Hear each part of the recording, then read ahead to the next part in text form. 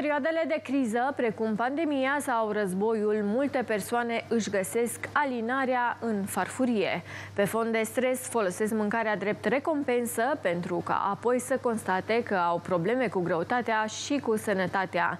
Cum întrerupem acest cer vicios, ne spune Anca Alungulesei, terapeut în nutriție și creatoarea psihodietei.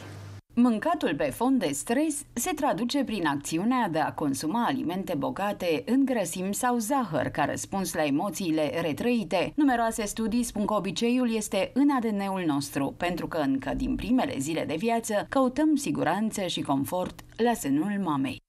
Din punctul meu de vedere, majoritatea persoanelor mănâncă într-o formă, într-un procent mai mare sau mai mic uh, pe fond emoțional în anumite momente ale vieții, pentru că uh, cumva ne este foarte familiar acest lucru și vine din perioada bebelușie, când copilul era uh, hrănit de mămica lui și odată cu laptele matern primea această confirmare a nevoii de supraviețuire, de securitate, de totul este bine.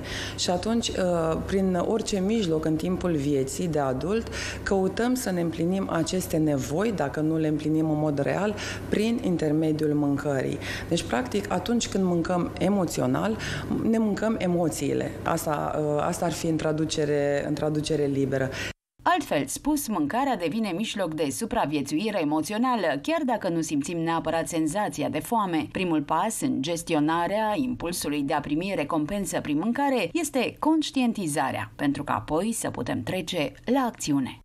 Primul pas, așa cum spuneam, este conștientizarea. După ce ai conștientizat că te încadrezi în această tipologie, în acest tipar, evident că trebuie să treci la acțiune. Și aici foarte multă lume se pierde. Uh, pe de o parte, uh, uh, sunt mulți care cred că nu au nicio șansă, nu au nicio speranță, că au mai făcut tot felul de lucruri în trecut și persoanele, în general, asociază acest lucru cu dieta. Spun că trebuie să țin dietă ca să. Cumva, problema cea mai mare, din punctul meu de vedere, este că uh, ne deranjează doar numărul de kilograme și considerăm că numărul de kilograme este problema reală cu, cu care ne confruntăm și, de fapt, numărul de kilograme nu este deloc problema reală, este doar o consecință a ceea ce fac eu. Iar mâncatul, dacă rezolvăm mâncatul emoțional, cu siguranță și problema kilogramelor va dispărea într-un timp mai scurt sau mai, uh, sau mai lung.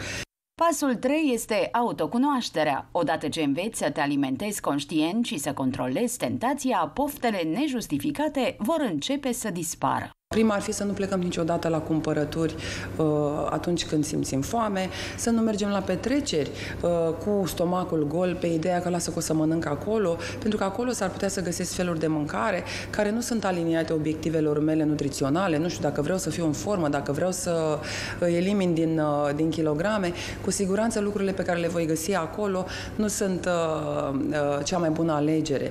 Și atunci, de ce să mergi expus când poți să faci ceva, să anticipi anticipezi ca să nu mai pici în această capcană, pentru că este foarte, uh, foarte greu să reziști. Și întotdeauna când vrei să reziști și îți spui nu, creierul te va împinge către acel nu, pentru că știi că îți place. Că dacă nu ți-ar plăcea, n-ai spune nu, ai fi indiferentă. Nu în ultimul rând, există activități care pot înlocui senzația de poftă, cum ar fi plimbările, cititul, dansul sau o baie relaxantă.